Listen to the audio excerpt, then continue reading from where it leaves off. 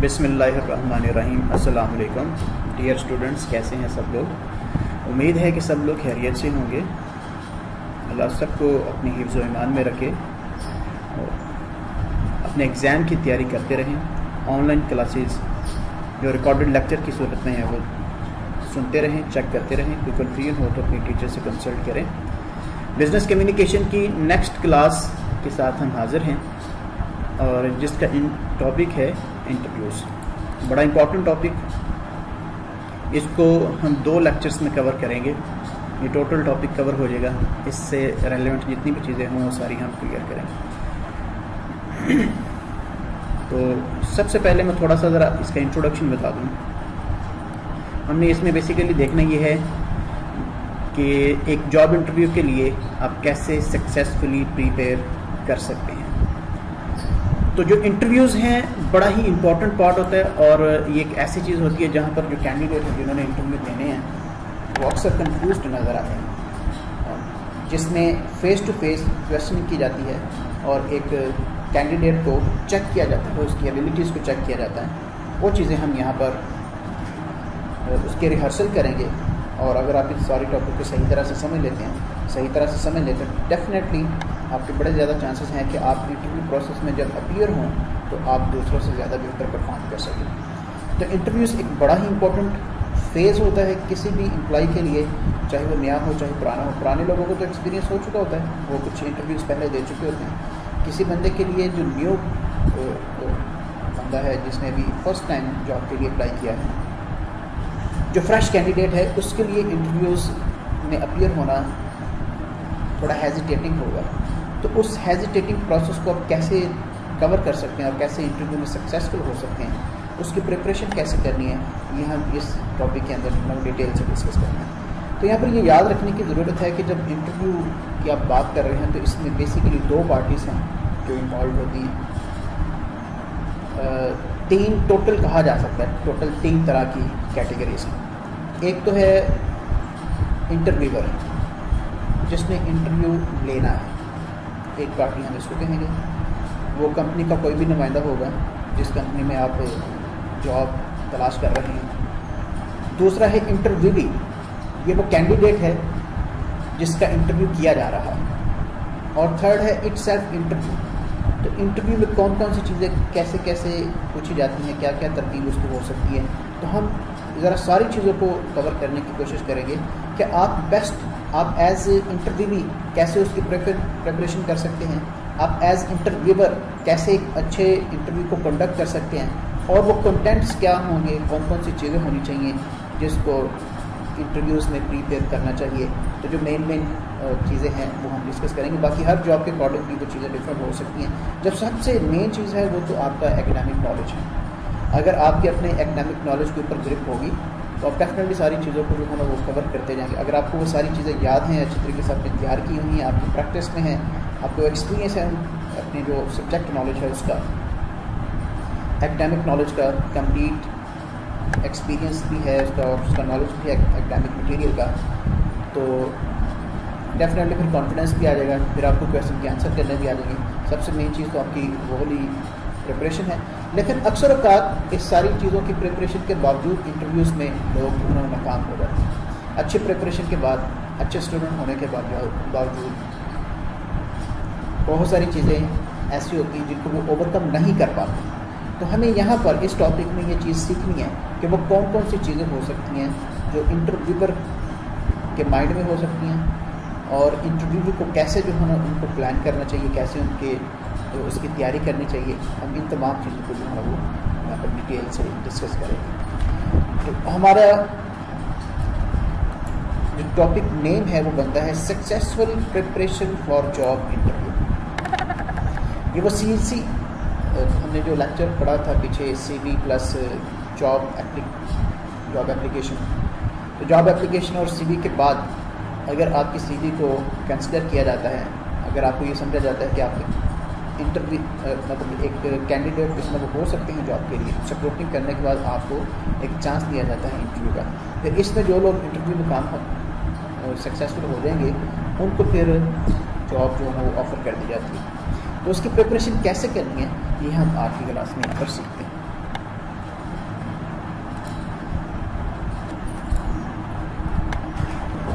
जो successful preparation है job interview के लिए, यहाँ पर हम इसको दो तीन हिस्सों में डिवाइड करेंगे तो सबसे पहला पार्ट वो है प्रायर टू द इंटरव्यू ये जो चीज़ें अभी हम डिस्कस करने लगे हैं, ये इंटरव्यू के एतबार से हैं, यानी वो शख्स जो कैंडिडेट है, जो कि जॉब के लिए इंटरव्यू देने जा रहा है, उसको इंटरव्यू देने से पहले इंटरव्यू में अपियर होने से पहले कौन कौन सी चीज़ों का जानना उसके लिए ज़रूरी है?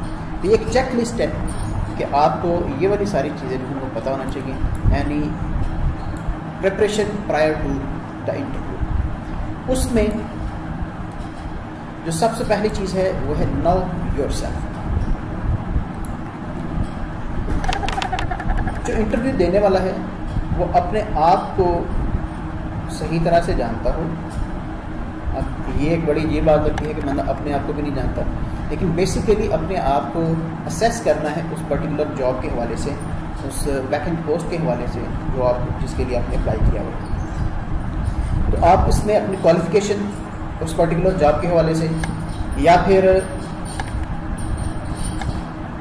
जो आपकी अकम्पलिशमेंट्स हैं, आप उनको जान लें ज़रा सही तरह से कि जॉब क्या है, और आपके पर्सनल इंटरेस्ट किस तरह की जॉब में या किस तरह के काम है, आपकी पर्सनल वैल्यूज़ जो हैं वो क्या हैं बास्कत बंदे के जहन में चीज़ें होती हैं, लेकिन वो ऑन द स्पॉट उनको प्रेजेंट नहीं कर पाता। तो आप उन सारी चीज़ों का एनालिसिस समरी करके अपने माइंड के अंदर एक कॉपी बना के रख लें कि अगर मुझसे मेरी चीज़ों के हवाले से कुछ पूछा जाता है, मेरी क्वालिफिकेशन के हवाले से, मेरे स्ट्रॉन्ग पॉइंट्स के हवाले से, मेरे वीक पॉइंट्स के हवाले से तो मैं उन सारी चीज़ों को जो किस तरह से एक्सप्लेन कर सकता हूँ। तो सबसे पहले नो योर सेल्फ यानी एक कैंडिडेट जो वो अपने आप को जानता हो। Second know your resume resume को भी जानना ज़रूरी है। मतलब जो आपने सीवी बनाई है, एक तो इसमें ये भी कहा जाता है कि आपके पास एटलीस्ट दो कॉपी जो है ना वो सीवी की मौजूद होनी चाहिए। एक तो सीवी आपने पहले ही ड्रॉप की हुई होगी। कभी कभार आपको ऑन द स्पॉट भी सीवी ड्रॉप करने के लिए कहा जाता है। और कभी वो आपसे जॉब के दौरान सीवी जो है वो मांग लेते हैं। कभी नहीं भी मांगते। लेकिन आपके पास ये बेहतर है, ये एक सजेशन है। कंपलसरी नहीं, लेकिन सजेशन है कि आपके पास at least two copies of your current updated CVs मौजूद होनी चाहिए। और आप उसके कंटेंट्स के बारे में भी जानते हैं। कभी कभार ऐसा होता है कि आपने चीज़ें लिखी हुई हैं, दो, तीन, चार चीज़ें लिखी हैं। आप कुछ चीज़ें इधर उधर से कॉपी भी कर लेते हैं, उनको भी इसके अंदर लिख लेते हैं। तो आपको पता हो कि आपने अपनी सीवी के अंदर कौन कौन सी चीज़ कि उसके अकॉर्डिंगली आपसे क्वेश्चन की जाती है। सीवी से रिलेटेड अगर कोई क्वेश्चन पूछा जाता है तो आपको पता होना चाहिए कि आपकी सीवी के अंदर कौन कौन सी चीज़ और कैसे कैसे मैंशन की हुई है। उसमें आपने कितना एक्सपीरियंस कहाँ कहाँ का एक्सपीरियंस लिखा हुआ है कौन कौन सी अपनी स्किल्स लिखी हुई हैं कौन कौन सी अपनी पर्सनल डिटेल्स लिखी हुई हैं, उन तमाम चीज़ों के कंटेंट्स का आपको सही तरह से पता होना चाहिए। उसके बाद नाउ द कंपनी जिस कंपनी में आप जॉब के लिए इंटरव्यू दे रहे हैं, आपको उस कंपनी से रिलेटेड भी कुछ इन्फॉर्मेशन होनी चाहिए। और वो किस तरह की इंफॉर्मेशन हो सकती है? वो इन्फॉर्मेशन ये हो सकती है कि ये जो कंपनी है, इसकी एनुअल अर्निंग या एनुअल सेल्स टर्नओवर कितना है उसका? कंपनी कौन से प्रोडक्ट्स बना रही है? इसके जो बिज़नेस एक्सपेंशंस हैं, वो कौन कौन सी हैं? और मैनेजमेंट में अगर ये कोई चेंज आया है इनका तो वो क्या है? और डिफरेंट टाइप के ये इवेंट कंडक्ट करते हैं, या इन्होंने पिछले जो इवेंट कंडक्ट किए हुए हैं, उनके हवाले से अगर कोई इम्पोर्टेंट चीज़ हो तो वो भी आपके माइंड में होनी चाहिए। और बास का उस कंपनी की कंपनी से रिलेटेड जो प्रॉब्लम्स हैं तो उस कंपनी को प्रॉब्लम फेस करना पड़ रहे हैं। अगर आप वो भी जान सकते हैं तो ये बड़ी अच्छी चीज़ है। अब क्वेश्चन ये आता है कि ये वाली सारी चीज़ें चूँकि आप कंपनी का हिस्सा नहीं है तो आप ये कैसे जानते हैं? तो हर एक जगह पर मुख्तलिफ़ तरह के बिज़नेस जर्नल्स मिलते हैं। वहाँ पर जो बड़े बड़े बिज़नेस हैं, वहाँ उसकी इन्फॉर्मेशन मिल जाती है। और अगर आप इवन प्रॉब्लम को नहीं जानते तो प्रॉब्लम को छोड़कर जो बाकी आपकी इन्फॉर्मेशन है, वो आपको इंटरनेट से, उस कंपनी की साइट से, उस तरह की इन्फॉर्मेशन जो है वो आपको मिल सकती है। तो इंटरनेट से वेबसाइट से, इसके अलावा जो जर्नल्स हैं, वहाँ से, या फिर आपका हल्का अहबाब वहाँ से, या फिर उस कंपनी में से किसी एग्जिस्टिंग एम्प्लॉय जो पहले से मौजूद एम्प्लॉय है, उसके साथ वाकफियत हासिल करके उसकी कुछ इन्फॉर्मेशन आप हासिल कर सकते हैं। तो कंपनी को अगर आप जानें तो ये एक इंटरव्यूअर के लिए इंटरव्यूवर के लिए एक अच्छी चीज़ होगी। जब वो ये, उसको पता चलेगा कि ये जो शख्स है, हमारी कंपनी के बारे में इंफॉर्मेशन रखता है, इसको हमारी स्ट्रेंथ का पता है, हमारे प्रॉब्लम्स का पता है। तो जब एक ऐसा शख्स आपके पास आता है तो वो डेफिनेटली ज़्यादा सक्सेसफुल हो सकता है, क्योंकि उसका नॉलेज दूसरों से ज़्यादा कंपनी के मतलब ज़्यादा जानता है। तो वो ज़्यादा अच्छे तरीके से उसको हैंडल करने की भी सलाहियत रखता है। और जब वो पहले से जानता है तो फिर वो अपने आप को उस ज़मन में प्रिपेयर करके भी आता है। तो ये कंपनी के मतलब जान लेना ये एक अच्छी चीज़ होगी। उसके बाद है नाउ द पोजिशन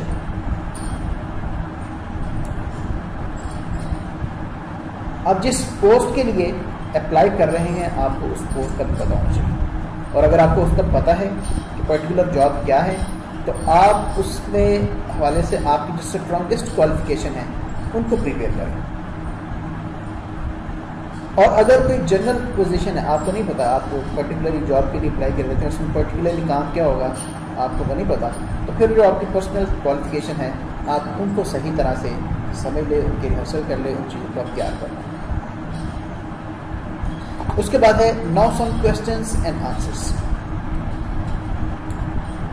जब आप प्रिपरेशन कर रहे हैं इंटरव्यू की तो आपको कुछ क्वेश्चंस का आइडिया होना चाहिए कि इस तरह के क्वेश्चन जो है ना पूछे जा सकते हैं और ये उसके पॉसिबल आंसर्स हो सकते हैं। तो जो जो मेन मेन चीज़ें हैं, जो मेन क्वेश्चंस हो सकते हैं, जो कि आपके उस सब्जेक्ट मैटर से रिलेटेड है, उसके हवाले से जो है वो आप प्रिपेयर करें वो अगर आप एक लेक्चरर की जॉब दे रहे हैं, कि जॉब के लिए इंटरव्यू दे रहे हैं तो किस सब्जेक्ट के लेक्चरर के लिए दे रहे हैं और किस बुक को आपने सब्जेक्ट को आपने पढ़ाना है उसके सिलेबस के हवाले से, उसमें जो मौजूद चैप्टर्स हैं, उनके हवाले से उनका ये होना चाहिए। अगर आप अकाउंट्स के लिए कर रहे हैं तो आपको अकाउंट कैसे हैंडल किए जाते हैं, कौन से सॉफ्टवेयर यूज़ किया जाता है, कैसे जो है ना वो रिपोर्ट्स मुख्तु तरह की तैयार की जाती हैं, आपको उनका नॉलेज होना चाहिए। इसी तरह से हर एक जॉब की अलग अलग सकती हैं। आपको उन पॉसिबल क्वेश्चन का और उनके आंसर का बताना चाहिए। तो आप ऐसा करें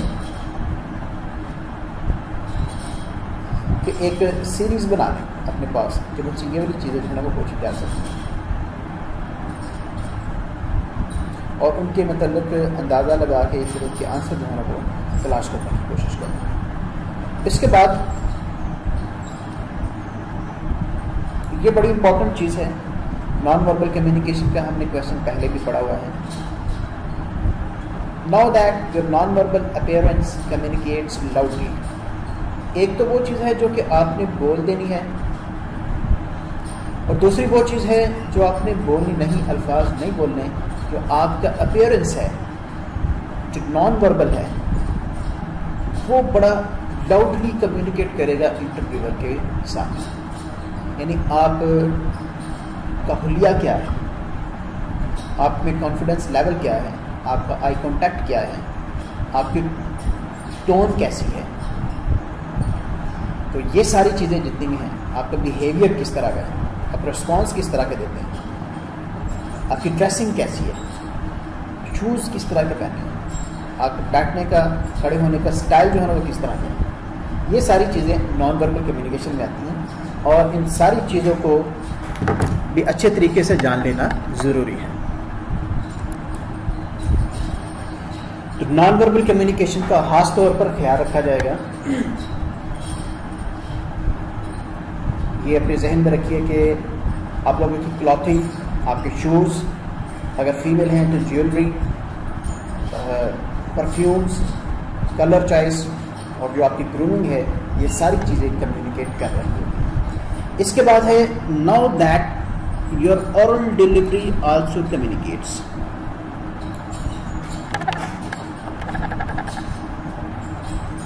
आप कैसे डिलीवर कर रहे हैं? जो क्वेश्चन पूछे जा रहे हैं, उनके आंसर्स कैसे कर रहे हैं? आपकी जो टोन है, वो किस तरह की है? जैसे आपकी आवाज़ में टोन में जो लाउडनेस है, उसमें उतार चढ़ाव आता है। कभी आप हैवी चीज़ पर ज़्यादा जो है ना वो ज़ोर डालते हैं और कभी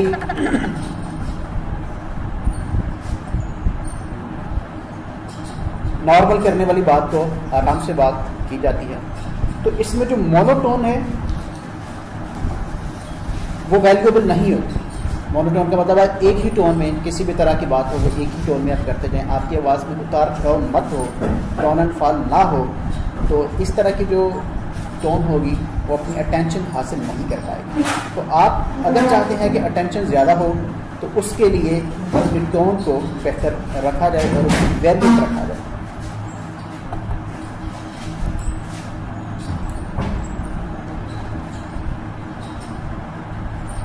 So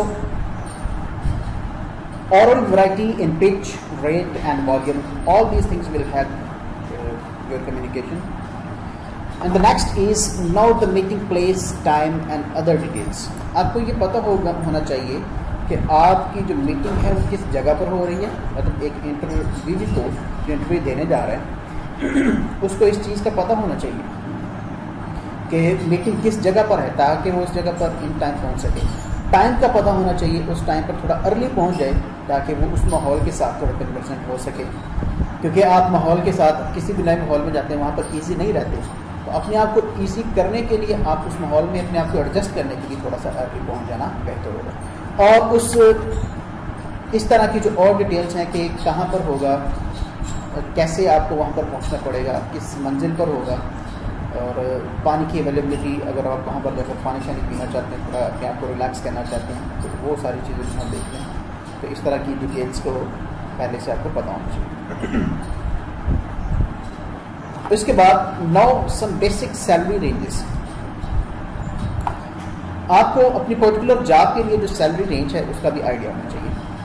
क्योंकि अगर आप इंटरव्यू दे रहे हैं और आपको सक्सेसफुल कैंडिडेट कंसिडर किया जाता है तो फिर नेक्स्ट चीज़ आती है कि आपकी सैलरी क्या है। तो आप उस जॉब के हवाले से किसी और तरह की कंपनी में या दूसरे मुलाजमों की जो, दूसरे एम्प्लॉज़ की जो सैलरीज हैं, उसको जो है ना वो कंपेयर करेंगे।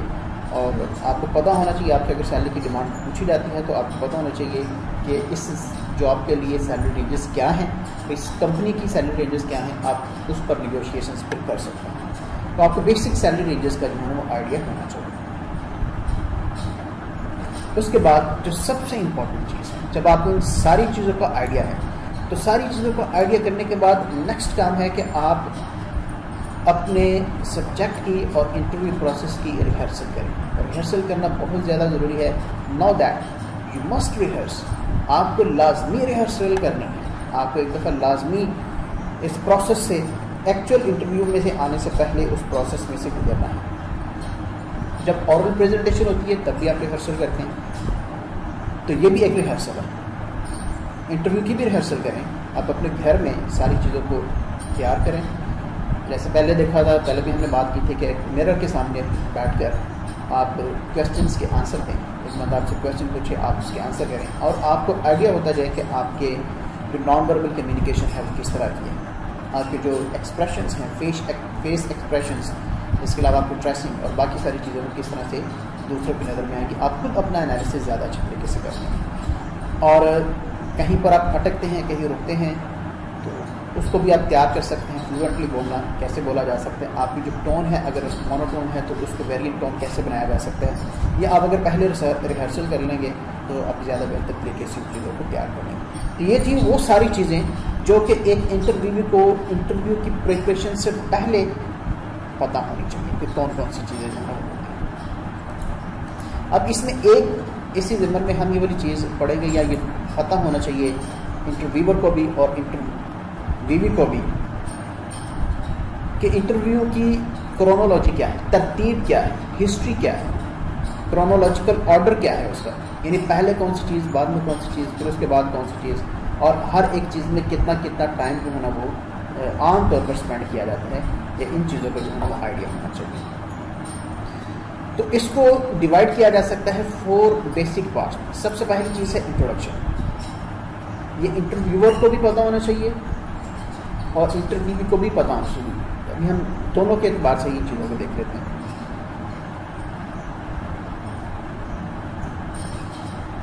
यानी इंटरव्यूअर जो है, वो पहले, सबसे पहले काम है इंटरव्यू का जो प्रोसेस है, अगर ये पंद्रह, बीस मिनट, तीस मिनट का, या फिर तीस, चालीस मिनट का जो है ना वो अगर है टाइम पीरियड है टोटल तो उसमें सबसे पहले जो पार्ट होगा वो इंट्रोडक्शन होगा। इंट्रोडक्शन में कैंडिडेट से इंट्रोडक्शन लिया जाता है। जो इंटरव्यूअर होगा, वो कैंडिडेट से उसका नाम पूछेगा, उसका हाल चाल पूछेगा, उसके उससे जनरल उसको ईज करने के लिए, उसको पुरस्कून बनाने के लिए, उससे कुछ चीज़ें जो है वो दरियाफ्त करेगा, मौसम के हवाले से बात करेगा, उसको पानी पेश करेंगे, ताकि वो थोड़ा सा रिलैक्स हो जाए।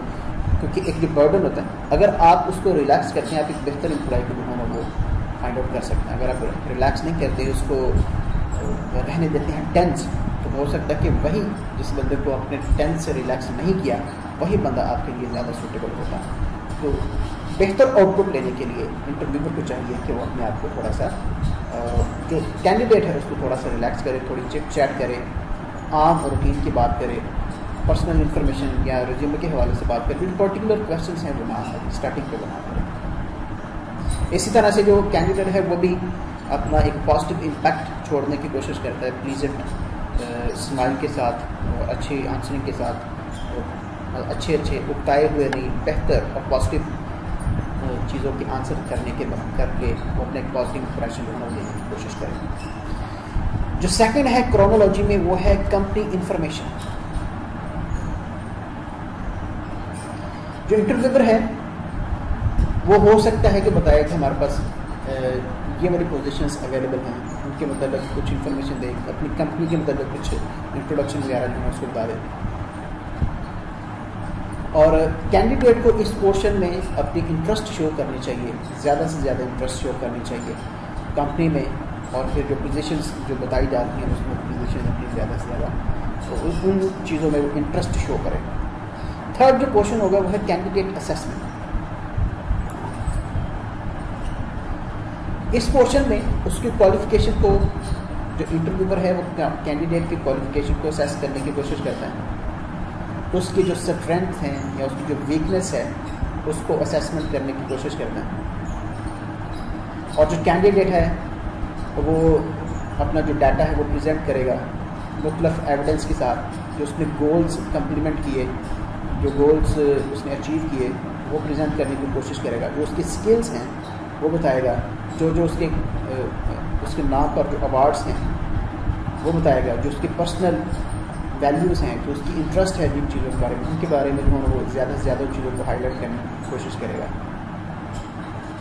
और फिर जो उसकी स्किल्स हैं, उसके जो स्कूल में या उसकी जो एजुकेशनल इंस्टीट्यूशन में जो उसकी लर्निंग है, उसके साथ उसको रिलेट करने की कोशिश करेगा। और फिर इसमें क्वेश्चनिंग की जाती है, ये बेसिकली क्वेश्चन क्वेश्चनिंग पर मुश्तमल होता है। मुख्तलिफ़ तरह की क्वेश्चन पूछे जाते हैं। मुख्तलिफ़ तरह के उसके चैलेंजेस दिए जाते हैं। और उसको टेस्ट किया जाता है कैंडिडेट को। तो इस तरह से मुख्तलिफ़ चीज़ें जो है वो असेसमेंट उनकी करने की कैंडिडेट की मुख्तलिफ़ क्वेश्चन के साथ असेसमेंट करने की कोशिश की जाती है, जिनमें बेसिकली उस क्वालिफिकेशन उसका करंट नॉलेज उसका एक्सपीरियंस और उस पर्टिकुलर ऑर्गेनाइजेशन उस पर्टिकुलर जॉब के लिए या पोजिशन के लिए उसकी इंटरेस्ट और उस पर्टिकुलर कंपनी या जॉब में उसकी उसका नॉलेज ये सारी चीज़ें जो वो इसमें असेस करने की कोशिश की जाती है। तो क्रोनोलॉजी में नेक्स्ट पार्ट है कंक्लूजन अब कंक्लूड करते हैं।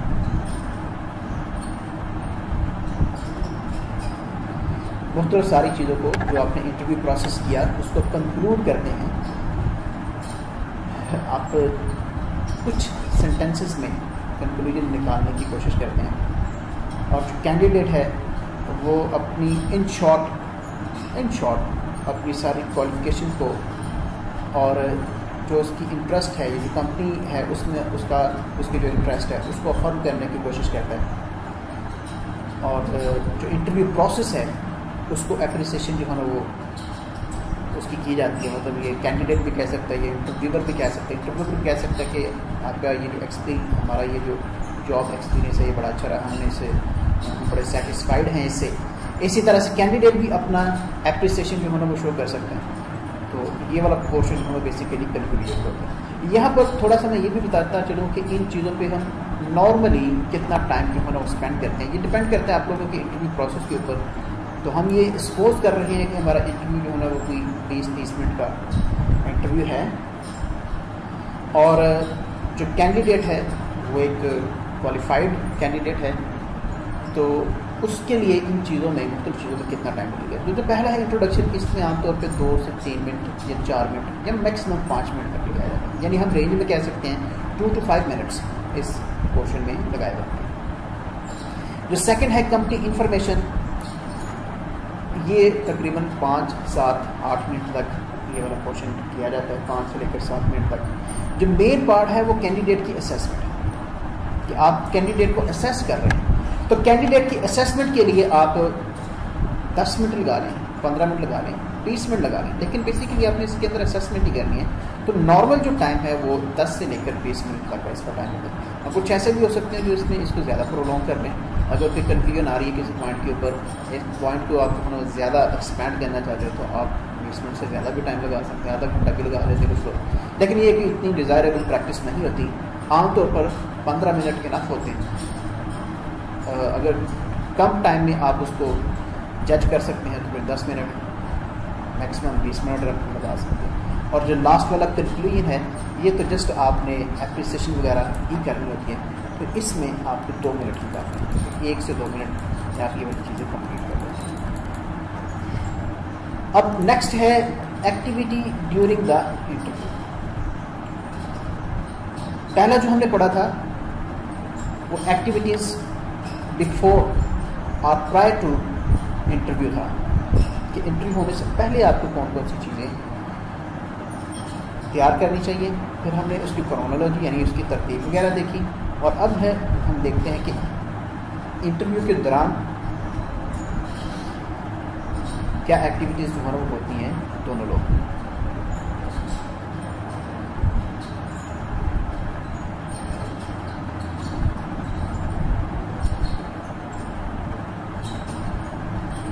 जी, ये हम यहाँ पर देखते हैं कि जब एक इंटरव्यू प्रोसेस चल रहा होता है, एक चेक लिस्ट है कि उसमें मुख्तलिफ़ तरह के आपके बिहेवियर हो सकते हैं पॉजिटिव एंड नेगेटिव बिहेवियर हो सकते हैं इंटरव्यू के दौरान।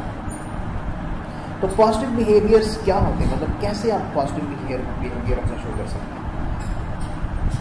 दो चीज़, दो तरह की चीज़ हो सकती है पॉजिटिव और दूसरी नेगेटिव आपने कोशिश करनी है कि पॉजिटिव चीज़ें या पॉजिटिव बिहेवियर हो, और जो नेगेटिव्स हैं, आपने उनसे अवॉइड करने की कोशिश करनी है। तो कौन कौन से पॉजिटिव चीज़ें जो है इसके अंदर हो सकती हैं? अभी हम उनको डिस्कस करते हैं। पहली चीज़ है शो एंथुजिज्म आप जोश शो करें, जज्बा शो करें, ये दोनों के लिए है। मतलब आप उसमें बेजारी टलनेस टायर्डनेस ये शो मत करें। थकावट टायरसन मत शो करें। ना इंटरव्यू लेने वाला, ना इंटरव्यू देने वाला। बेचैनी शो मत करें। आप ये शो करें एज अ कैंडिडेट कि आप इस जॉब को हासिल करने के लिए बड़े एंथोसियस्टिक हैं। वही चीज़ आपको उस जॉब को दिलाने में अहम किरदार अदा करेगी। और ये आप कैसे शो करेंगे? By your facial expression by your gestures by the question you have been asked and by the answers आप इस तरह से अपनी इंटरेस्ट शो कर सकते हैं। Secondly be honest don't try to boast the things बड़ बड़ की चीज़ें मत बयान करें। मैंने फला काम भी कर लिया, फला काम भी कर लिया, फला काम भी कर लिया। Be honest and be exact जो असल चीज़ें हैं, वही बताएँ और ईमानदारी से जो चीज़ें आपके अंदर या क्वालिटीज़ हैं, वो बताएँ। उसको एग्जैजरेट करने की ज़रूरत नहीं होती। तो एग्जैजरेट करेंगे, फंस जाएँगे। इंटरव्यू नहीं तो बाद में फंस जाएँगे, जो कि इंतहाई बैडविल क्रिएट करेगा आपकी पार्ट पर। फिर है लिसन अटेंटिवली जो क्वेश्चंस किए जा रहे हैं, जो सिचुएशंस सिचुएशंस आपको बताई जा रही है इंटरव्यूअर की तरफ़ से एज अ कैंडिडेट आप उनको अटेंटिवली लिसन करें। तो वजह से सुने कि क्या बात कही जा रही है। इसमें हंड्रेड परसेंट कोशिश करें कि उनको अपनी बात को रिपीट करने की ज़रूरत पेश ना आए। ध्यान से सुनेंगे, आपको फोकस करके सुनेंगे और चुप करके सुनेंगे। दरमियान में इंट्रप्शन नहीं करेंगे तो आप बात को सही तरह से समझ भी सकेंगे। और ये हमारा एक लिसनिंग का भी एक टॉपिक है, वो हम एक लेक्चर वो भी डिस्कस करेंगे, जो इफ़ेक्टिव लिसनिंग है। तो इफ़ेक्टिव लिसन करें। लिसन करेंगे तो आप प्रॉपर आंसर कर सकेंगे। अटेंटिवली लिसन करें और कोशिश करें कि जो आपका क्वेश्चन पूछने वाला शख्स है, उसको रिपीट ना करना पड़े। उसके बाद कीप आंसर्स ब्रीफ जो आपने आंसर्स करने हैं उसको टू द पॉइंट रखा जाए ब्रीफ रखा जाए। मतलब इतनी ही एक्सप्लेनेशन दें जितनी वो पूछी गई है। उसको अननेसेसरीली एक्सप्लेंड मत करें। जितनी चीज़ आपसे पूछी गई, आप जस्ट उतने का आंसर है वो दें। तो ये भी एक पॉजिटिव चीज़ जो है वो की जाएगी। बात का आप क्वेश्चंस के आंसर करने में रेफरेंसेस ढूंढते ढूंढते दूसरी जगह पर, एक से रेफरेंस से दूसरे में, दूसरे से तीसरे में, तीसरे से चौथे में चले जाते हैं और आपकी उस टॉपिक के ऊपर जो पकड़ है वो कमज़ोर हो जाती है। तो आप एक्सप्लेनेशन को इतना ब्रीफ रखें और जो क्वेश्चन पूछे गए बिल्कुल भी हाँ या ना वाला मामला नहीं है कि आप सिर्फ़ ऐसे नो में आंसर कह रहे हैं। बिल्कुल शॉर्ट जो होता है M C Qs type question होते हैं। उस तरह के आंसर मत करें। कि आंसर्स दें, लेकिन ब्रीफली दें। और जितनी चीज़ पूछेगी सिर्फ़ उतने का आंसर आप उसके बाद show interest in the company ये हमने पहले भी पढ़ा, लेकिन दोबारा यहाँ पर ये बात की जा रही है कि आप इंटरव्यू के दौरान कंपनी में अपनी इंटरेस्ट शो करें। मतलब किसी को ये ना लगे कि कि ये जो एम्प्लॉय है इंटरव्यूअर को ये ना लगे कि ये तो एम्प्लॉय हमारी ऑर्गेनाइजेशन को अच्छा ही नहीं समझता। ये तो इसमें आना ही नहीं चाहता, इसका मिजाज कुछ और है। ये अपने आप को इसके लिए फिट नहीं समझता। ये ऑर्गेनाइजेशन उससे बड़ी है या ये ऑर्गेनाइजेशन से बड़ा है? या ऑर्गेनाइजेशन में नहीं आना चाहता। इसकी इंटरेस्ट किसी और चीज़ में, इसको जस्ट टाइम पास के लिए यूज़ करना चाहता है। तो इस तरह का बिहेवियर नहीं चाहिए। कंपनी में इंटरेस्ट आप शो करेंगे तो फिर आपकी जॉब के चांसेस ज़्यादा होते लेकिन जो इंटरव्यू पैनल बैठा होता है, उसमें हो सकता है क्वेश्चन करने वाला जो शख्स है, उस प्रोसेस में जो क्वेश्चनिंग करने वाला शख्स है, वो एक हो जो आपका पर्टिकुलर नॉलेज चेक करेगा। लेकिन कुछ लोग ऐसे भी होते हैं जो कि जस्ट आपकी ये वाली सारी चीज़, जो आपकी नॉन वर्बल कम्युनिकेशन है, जो कॉन्फिडेंस है, इन चीज़ों को जो चेक कर रहे होते हैं। तो उनका, उनको भी आपने अपनी ग्रिप में लेना है। तो उसके लिए भी ये वाली इंटरेस्टिंग चीज़ है कि आप कंपनी में अपनी इंटरेस्ट शो करें। फिर उसके बाद है नौ शो एनालिटिकल स्किल्स मुख्तलिफ़ चीज़ों को मुख्तलिफ़ चीज़ों को एनालिसिस करने की स्किल जो है वो अपने अंदर शो करें। हर बंदे में होती भी हैं। तो आप जो स्किल्स हैं, इस तरह की कि डिफरेंट सिचुएशन आप उनका एनालिसिस कर रहे हैं और कर सकते हैं, इस तरह की स्किल जो है वो शो की जाए।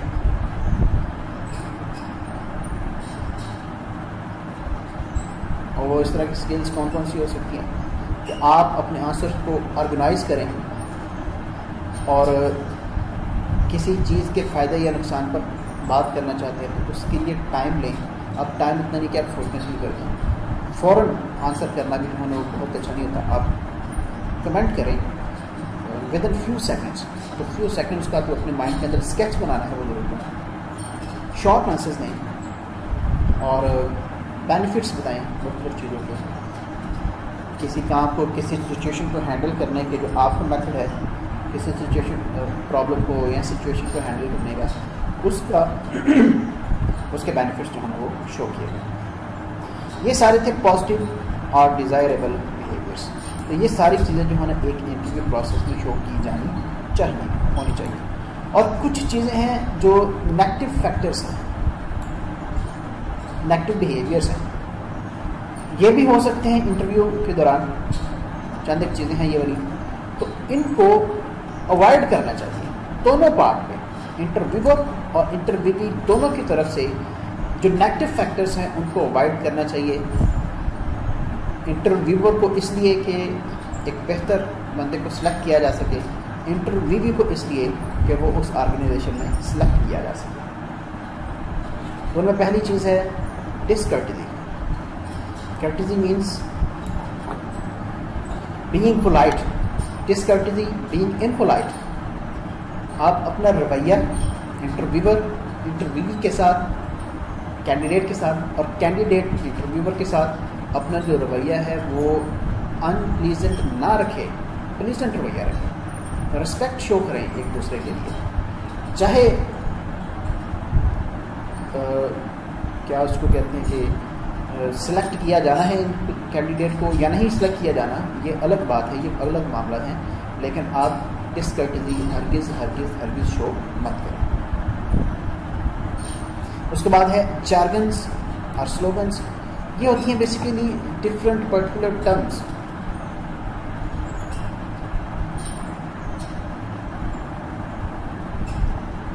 और पर्टिकुलर ऐसी टर्म्स होती हैं जो पर्टिकुलर सिचुएशंस में यूज़ की जा सकती हैं। तो आप उन पर्टिकुलर सिचुएशंस में यूज़ की जाने वाली जो टर्म है, उसके इस्तेमाल से बचें। कोशिश करें कि उस तरह की चीज़ आप इस्तेमाल ना करें। और उसके बाद है ओवर एग्रेसिव अपनी एग्रेसिवनेस शो मत करें इंटरव्यूज़ के दौरान. As a candidate don't try to be aggressive don't try to be over aggressive बहुत ज़्यादा एग्रेसिव मत हो बहुत ज़्यादा जो है ना वो अपना बिहेवियर गुस्से वाला, या टांट मारने वाला, या एंथुजिज्म वाला अननेसेसरीली एंथुजिज्म वाला शो मत करें. तो ये जो एग्रेसिवनेस है, ये एक कैंडिडेट के पास पर एक क्वालिटी कंसिडर नहीं की जाती। इसलिए ज़रा इस पर भी ख्याल रखें कि डोंट बी ओवर एग्रेसिव उसके बाद है disregard for the positive factors जो बहुत सारे पॉजिटिव फैक्टर्स हमने ऊपर पढ़े हैं चंद पॉजिटिव फैक्टर्स तो उनमें से किसी को भी आप गलत मत समझें। मतलब अगर आंसर्स जैसे अगर स्टार्ट वाली चीज़ों को ये कहा जाता है। एंथुजिज़म एक कैंडिडेट एंथुजिज़म शो कर रहा है। और जो इंटरव्यूवर है, वो उसको नेगेटिव समझता है, वो उसको गलत समझ रहा है, उसके लिए डिसरिगार्ड है उस एंथुजिज़म के लिए। तो that is a wrong thing अगर कोई बंदा ऑनेस्टली आंसर कर रहा है और इंटरव्यू देने वाला या इंटरव्यू लेने वाला दोनों ये समझे कि नहीं इतना ऑनेस्टली आंसर नहीं करना चाहिए था। ये गलत है।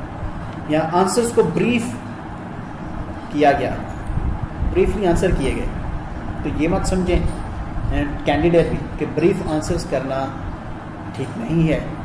और कैंडिडेट सॉरी जो इंटरव्यूअर है, वो भी ये मत समझे कि इसने तो बड़ा ब्रीफ आंसर दे दिया इसकी इतनी ज़्यादा जो डिटेल्ड एक्सप्लेनेशन है वो इसने नहीं की। नहीं तो ब्रीफ आंसर जो है वो ठीक है।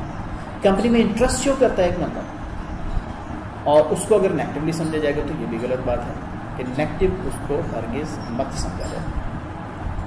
तो ये है वो मुख्तलिफ़ चीज़ें। अगर सपोज़ कोई एनालिटिकल स्किल्स अपने शो करता है तो उस एनालिटिकल स्कोर स्किल्स को भी डिसरिगार्ड ना किया जाए, उसको जो है बुरा ना समझा जाए, उसको पॉजिटिव मैनर में लिया जाए पॉजिटिव अंदाज से इसको समझा जाए। तो ये वो फैक्टर्स हैं जो कि नेगेटिव फैक्टर्स हैं। इसके अलावा भी हो सकते हैं, लेकिन ये मेन मेन चीज़ें हैं क्या ये नेगेटिव फैक्टर्स हैं, जिसमें पर्टिकुलरली जो होने की पहले वाली दो हैं, कि डिस्कर्टिजी एंड चैरकट्स कि आप इन चीज़ों का इस्तेमाल हरगिज़ हरगिज़ हरगिज़ ना करें, एक इंटरव्यू प्रोसेस के दौरान। और तो फिर इंटरव्यू प्रोसेस के सक्सेसफुल होने की बहुत ज़्यादा उम्मीद हो सकती है या उम्मीद की जा सकती है। ये था इंटरव्यूज़ का पहला पार्ट हम नेक्स्ट क्लास में इंटरव्यूज़ के बाद वाला, जो फॉलो अप वाला प्रोसेस है, हम उसको भी डिस्कस करेंगे कि इंटरव्यूज़ फिर इंटरव्यूज़ में हम ये भी चेक करेंगे कि क्वेश्चंस कौन कौन से होते हैं, जो अपने पूछे जा सकते हैं इंटरव्यू की इंटरव्यूवर की तरफ़ से और कैंडिडेट को कौन कौन से क्वेश्चंस का मुकम्मल तौर पर सही तरह से आंसर्स आना चाहिए इंटरव्यू प्रोसेस में जाने से पहले। तो उन चीज़ों को भी हम डिस्कस करेंगे नेक्स्ट क्लास में और इसके साथ साथ हम जो फॉलो अप है कि अगर इंटरव्यू हो गया, अब उसका रिस्पॉन्स लेना है तो वो हम कैसे जो है लेंगे? ये दोनों के पार्ट पर होंगे कि जो इंटरव्यूवर है इंटरव्यू लेने वाला या कंपनी जो है, वो कैसे रिस्पॉन्स करती है, किस किस सिचुएशन में किस किस तरह से, कैसे कैसे रिस्पॉन्स करेगी, क्या फॉलोअप करेगी? और इसी तरह से जो कैंडिडेट है, वो क्या फॉलोअप करेगा, वो कौन कौन सी चीज़ें जो पूछेगा कौन कौन सी चीज़ें जो वो उससे मांगेगा कौन कौन सी चीज़ें और कैसे जो है रिस्पॉन्स मांगेगा अपने इंटरव्यूवर से या कंपनी से। तो नेक्स्ट क्लास में हम इस तरह की चीज़ें जो डिस्कस करेंगे। आज तक की क्लास में कोई भी चीज़ अगर आपने पूछनी होगा पूछ सकते हैं। ये आप लोगों की बुक का जो एच ए मर्फी की बुक है, ये उसका टॉपिक है आउटलाइन के मुताबिक है। और बुक का जो लास्ट पार्ट है एच ए मर्फी की जो लास्ट बुक है, उसका लास्ट पार्ट पार्ट सेवन और उसका लास्ट चैप्टर है, ये job application process job application process job application हो गई तो उसके बाद इंटरव्यूज़ होते हैं तो ये वो इंटरव्यू वाला प्रोसेस है। तो ये उसका एक पार्ट है बुक से इसको पढ़िएगा कन्फ्यूज़न हो, किसी किस्म की प्रॉब्लम हो, आप लोग पूछ सकते हैं। अल्लाह सबका हामी नासर हो, हमेशा खुश रहें करोत रहें, महफूज रहें, और एग्ज़ाम की अच्छे तरीके से तैयारी करता है असल वरहमल cámara más.